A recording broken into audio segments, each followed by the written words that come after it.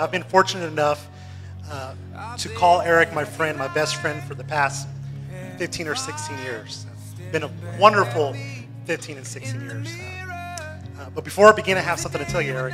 No, you cannot marry your car, your Audi, your FX, or any other material matter.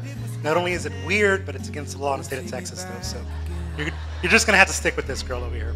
And I was 16 with an open heart, windows down in a beat up car. You support me?